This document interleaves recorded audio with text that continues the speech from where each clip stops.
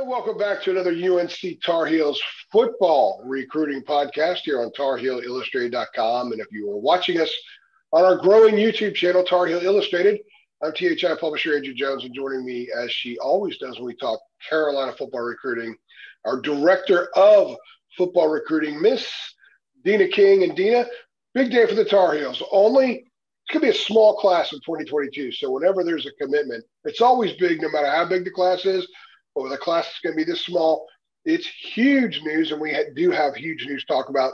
Randy Deuce Caldwell, a three star, listed as a safety, but being recruited by Carolina as a linebacker who attends Mauldin High School in Mauldin, South Carolina. He has announced he will play for the Tar Heels, six foot one, 215 pounds.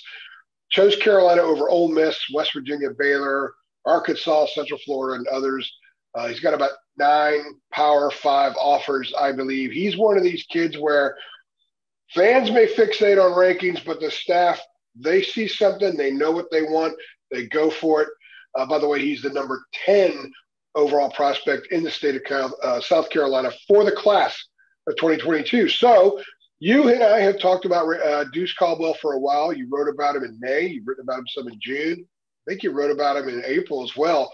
So, what can you tell Carolina fans about Deuce Caldwell? Like, like you said, Mauldin, South Carolina. He's teammates with another uh, big time target that Carolina's trying to get to Chapel Hill. Uh, uh, cornerback Jaden Lucas, who is uh, extremely uh, elite kid that uh, every program in the country would love to have he's teammates with him uh, right there in Clemson's backyard in the in the in that area. So, um, like like you said, the staff identified him uh, because we were not sure what they were recruiting because uh, there was so many offers to DBs, and so I had to get clarification that he that Carolina was recruiting him as a linebacker, and he's got great linebacker size. I mean, I, have seen video clips of him, and he he he makes me think a lot of uh, Power Echols in the same size frame and, and everything. But it, it's a plus that he plays DBs because linebackers have to go out in coverage too. So uh, it's some it's a I'm gonna call him a, a toy that Jay Bateman has in his in his toy chest. Uh, I can just see Jay Bateman's face getting a kid that he can just use all over the field. Well, he's got a pretty large toy chest that is growing in size, and he's got a lot of those kids that he can use multiple ways they love the multiplicity aspect of the defense because it helps them disguise more. It helps them bring stuff from different places more. So a kid like Caldwell, being able to cover and be a linebacker is such a huge, huge thing. Uh, by the way, Carolina offered him on April 15th. He took an official uh, middle of June, started June 15th. So not too long ago. He had himself an official visit. Where else has he been? And and ha- you've kind of sensed for a while. I mean, a lot of we just got people. Dean and I discuss this stuff every day, and uh, multiple times, and text a lot. And you just kind of had a sense that, you know, if Carolina really wants this kid, that they could probably get this kid. A South Carolina kid. A lot of a lot of South Carolina kids follow North Carolina, but we know that majority of them, the South Carolina kids, their dream offers are going to be Clemson and South Carolina. And with him being so close to Clemson, you know, it's it's hard not to grow up wanting to play in Death Valley. And so the biggest question mark was he went on an unofficial to Clemson recently and just you know Dabo is really peculiar about giving out offers, and he hasn't got a Clemson offer, so he can't went to camp. He did really good there, but didn't come away with an offer. So I feel that that was looking at Carol, uh, looking at Deuce's offer list. I, I Carolina looks uh, the most attractive to me. You know, yeah. I mean, I'm not being biased, but look at some, look at some of them offers. The program has is going up and everything. Got a lot going on.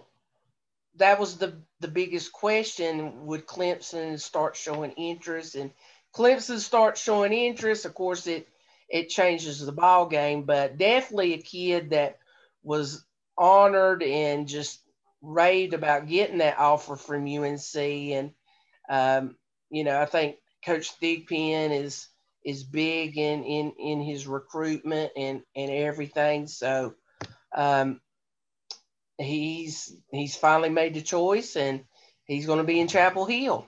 To reiterate, some of the schools he chose Carolina over Ole Miss, West Virginia, which is a pretty good program. Ole Miss, pretty good program too. Baylor, kind of yo-yoing all over the place. Arkansas is trying to rebuild again.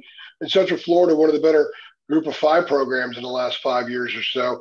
Uh, he actually, since Carolina offered April 15th, if I recall correctly, and tell me if you can think of any others, what West Point, Duke, Minnesota, and perhaps Arkansas, I think, offered since then. So, you know, he's this isn't the Miami, Michigan, of or you know Ohio State, Georgia, Clemson, which some of the other schools that Carolina has, has, beaten out for guys. That's why it's very important when you look at this. Some people say, "Well, that's a Larry Fedora type situation. That's kind of kids he used to get." Well, it doesn't matter. People love to face, especially with the program growing so much now. I find that we're constantly reminding people. You need to trust what the staff has seen. The staff doesn't care about star ratings. They don't care about any of that stuff. If they identify someone they like, to them, he's a five star in their mind. He's a four star in their mind, and that's that's what people uh, should should should accept. They should embrace and accept that.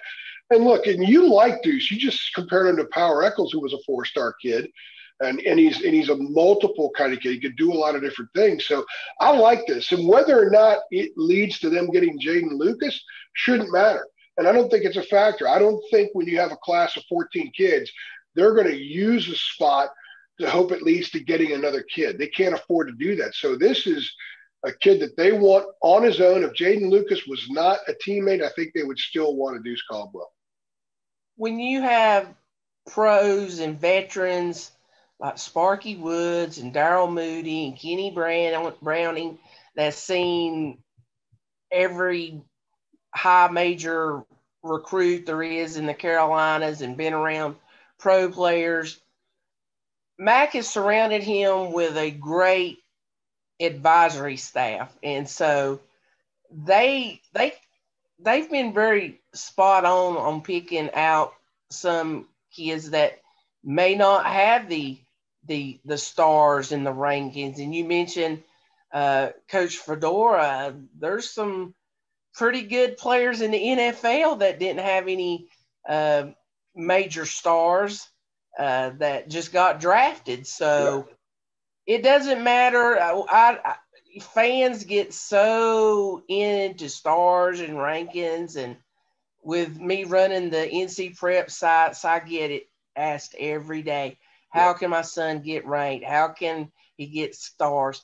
To me, it doesn't even the coaches they don't they don't really pay attention that they they they identify a kid and they go after him. They don't look at stars. We talked about this before.